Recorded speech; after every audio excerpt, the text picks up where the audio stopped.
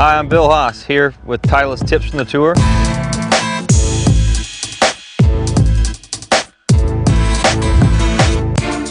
Today we're going to talk about working on an uphill lie.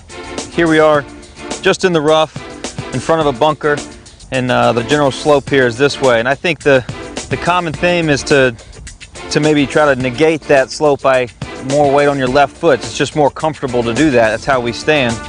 My tip would be to try to angle your shoulders with the slope. That's going to cause the ball to go higher, uh, which may may cause you to maybe need to change clubs, maybe take one more club.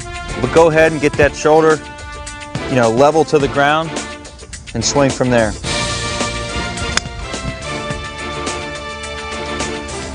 I hope this tip helps you if you ever have an uphill lie.